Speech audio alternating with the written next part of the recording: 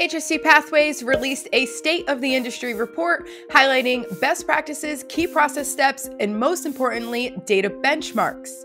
In this video, we'll take a closer look at case cancellation rates. After analyzing data from over 450 ASCs across the country, we were able to determine that ASCs are experiencing, on average, a 20% case cancellation rate. Our data analysts derived this metric by dividing the number of canceled cases by the total total sum of scheduled cases. So why does this data point matter? When a case is canceled, regardless of the reason, it has a ripple effect to nearly every person at the facility, your vendors, the patient, and the patient's family. Case cancellations can cause financial implications due to lost revenue opportunities and can directly impact financial stability and also your financial projections for the year. And high cancellation rates can lead to frustration and stress amongst your team and will, of course, impact surgeon satisfaction as well. So if you're not seeing the success that you'd like to here, you first need to conduct a thorough analysis of the reasons behind the cancellations. Is it patient driven, equipment issues, or just unforeseen emergencies? You should rely on the data you collect to conduct the analysis,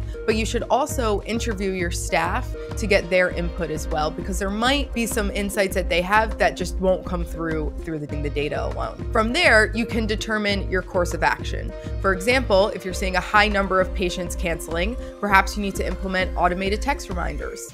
Or if you're seeing equipment issues creep up, perhaps you need to schedule more routine checks with your vendor. And things like this could always be a great QAPI study as well. If you're interested in more data points and use cases, subscribe to HST Pathways YouTube channel for more videos or head to our website to check out the full state of the industry report.